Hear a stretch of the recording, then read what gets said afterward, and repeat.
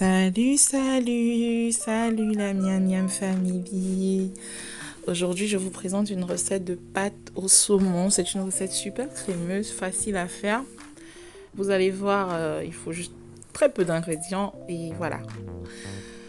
Euh, moi, je vous remercie pour vos abonnements et franchement, merci de continuer à soutenir la chaîne. Alors, regardez, ici, on a euh, une botte de ciboulette, voilà. Et mettez-en assez, je vous donnerai pas vraiment de quantité exacte en disant, euh, ouais, une bonne botte de ciboulette, c'est bon.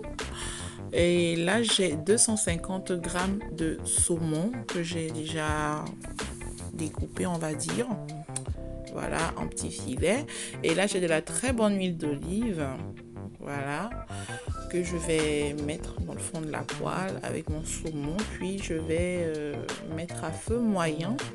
Je vais mettre à feu moyen déjà comme ça, laisser saisir, on va dire, euh, une minute environ. Juste le temps que ça saisisse le saumon. On va dire comme ça. Une fois que le saumon est saisi, on va rajouter euh, donc notre ciboulette et le poivre noir. Voilà, voici du poivre noir. Voilà, une fois que vous rajoutez ça, vous allez euh, laisser, on va dire, euh, oui, une dizaine de minutes déjà, comme ça. Et de temps en temps venir retourner. Non, vous allez laisser euh, une quinzaine de minutes à feu moyen. Et au bout d'une quinzaine de minutes à feu moyen, regardez ça, c'est de la crème fraîche. Bon, je sais pas comment vous vous dites ça, mais c'est de la crème fraîche en fait en italien. Panna da cucina, la panna, c'est la crème fraîche de cuisine. Regardez bien entre temps, de l'autre côté, il y a les pâtes qui sont en train de cuire. Bon, une fois que vous avez rajouté la crème fraîche, vous passez à feu doux.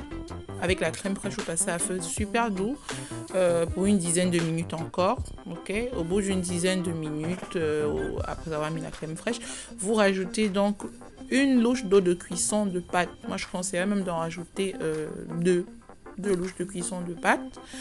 La crème fraîche, c'était 200 ml. 200 ml de crème fraîche, crème de cuisine. Et vous avez vu, j'ai rajouté l'eau de pâte. Et une fois que j'ai rajouté l'eau des pâtes, je mets les pâtes en fait. Je mets les pâtes et je rajoute un tout petit filet d'huile d'olive au-dessus comme ça. Et on va bien mélanger tout ça, laisser encore euh, deux minutes et ce sera prêt. Donc en fait c'est un repas en, ouais, on va dire en, en 25-30 minutes, vous avez mangé. C'est plutôt facile à réaliser. Bon, une autre version de cette recette prévoit de mixer. une fois que vous avez fait euh, le saumon, la ciboulette et tout ce que vous voulez, vous mixer avant de rajouter les pâtes. C'est encore plus crémeux. J'aime, moi j'aime faire ça avec le, mixeur à immersion, ok? Mais là, je n'ai pas voulu m'embêter ce soir, donc euh, j'ai bien fait d'émietter le, le, saumon dans la poêle et puis pourrait jouer quoi. Allez, à bientôt avec d'autres recettes toujours aussi plus faciles. Miam miam